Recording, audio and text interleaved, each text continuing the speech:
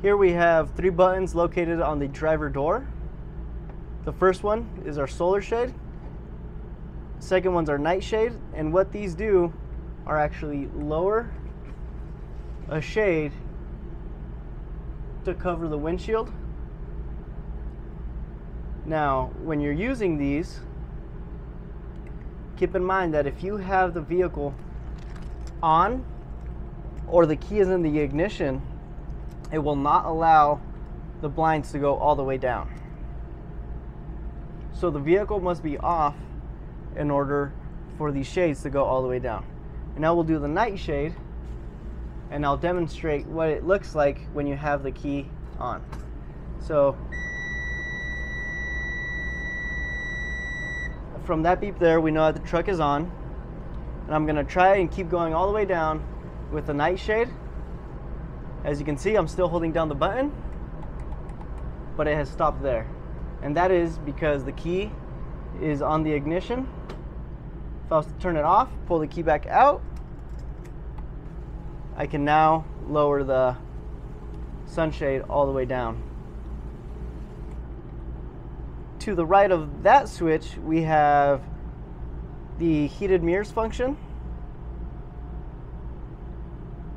So in order to work your heated mirrors or you're in a snowy condition, you want to melt that ice off of there, go ahead and flip that switch up with your key on.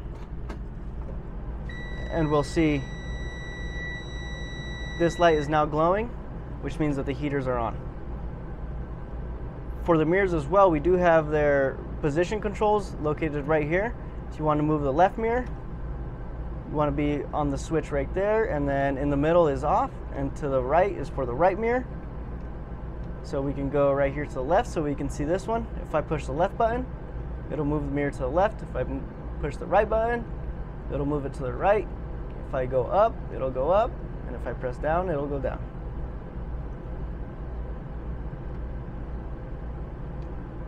Here we have our brightness controls for whenever we have our lights on.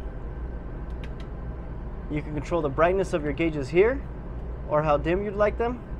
As you can see, I held it down. We can no longer see the lights on the switches. We'll leave that on bright. Here we have our windshield wiper control. So the higher the higher we push this little switch up, the faster the wipers get. And if you want to trigger trigger the spray function for the wipers, you're going to press down right at the top of that switch there and they will spray. Let's go ahead and turn those back off. Here we have our battery boost button. What this does is it'll allow you to connect the coach batteries to the chassis batteries. This comes in handy when the chassis battery dies and you can't start the vehicle. So what you can do is you'll press and hold this down and then you could start the vehicle using the batteries in the back. Here we have an exhaust brake.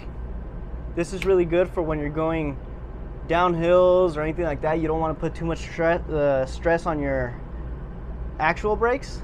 You can click this on and there's a little flap in the exhaust that will allow the motor to slow itself down in turn slowing you down. Here we have a far, uh, fog light switch.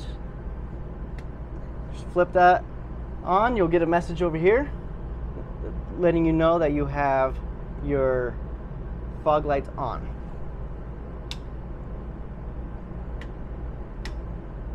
So there's three positions to this switch here. These are your headlight functions. Here we have off, and the middle is just marking lights. And the top means the headlights are on all the way.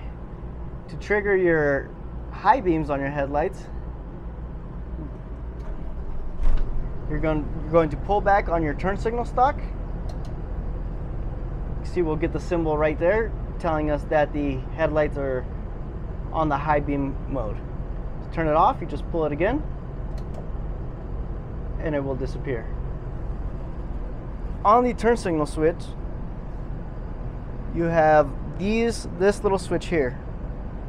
This is for when you're driving to turn on your cruise control, you can leave it on on right there. And then to set cruise control, turn it on while you're driving. You're gonna set it right there. And as you can see, when you're stationary and you click that, the vehicle automatically goes into high idle. If you're going to be at, at any idle period, where you're stopped at a at a hospital or anything like that, and you have to have the truck on, I always recommend you putting it into high idle. If you want to take it off of high idle, you just turn your cruise control off and it'll turn back off. So anytime that you come to a stop, but you want to keep the vehicle running, you want to put that switch in the middle. We'll get the cruise control light on over here. And then you're going to want to press this switch here, this button, and it'll bump up the RPMs to a thousand and that is how you want to leave it when you're going to be at idle at a stop. And it is the same process for when you're driving. If you're driving, you want to turn your cruise control on, you do it that exact same way. Over to my right, we have two switches ceiling lights and scene lights. These control all the lights inside of the unit and these control the same scene lights that are controlled by another switch on the exterior. So here we have our stereo. This stereo, see if I can give you guys a better view for that.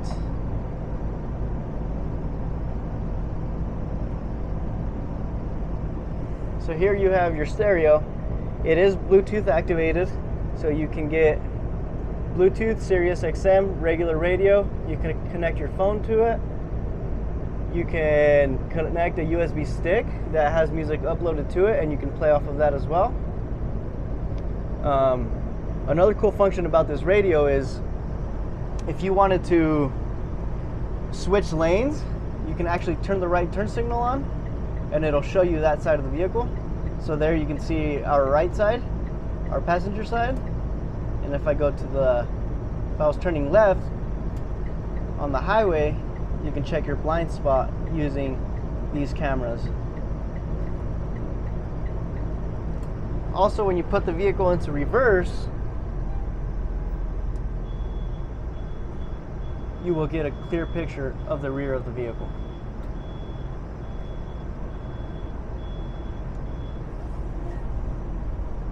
But let's say you want to keep your stereo on, but you want to keep the truck off.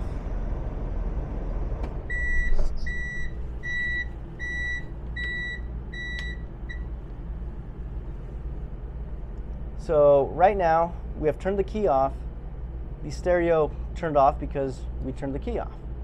If we wanted to power up this stereo without having the truck on, there's a switch down here for it. It says radio, house, and engine. If we flip it over to house, the stereo will now power up using the batteries that are that are powering everything else in the back. So you don't have to have your engine running consuming fuel in order to run your stereo. Here we have all of your regular climate control buttons, your fan speed, temperature. Here you have your AC button, your recycle air button, and of course, all of your outputs. Here we have your defrosting fans. Let me go ahead and turn the vehicle back on so you can see them. They are located both right there, right in front of the windshield. So this is good for when you have fog or condensation. You can turn it on to low that is the switch position in the middle, or you can turn it on to high, and that is the switch turned all the way to the top. There's a couple more features in, in the cab here. You do have two more USBs located right here, as well as over there next to the passenger seat. The dashboard actually turns into a desk just by pulling it just like that. So you can go ahead and do some paperwork there on the road if you need to. And that is your cab.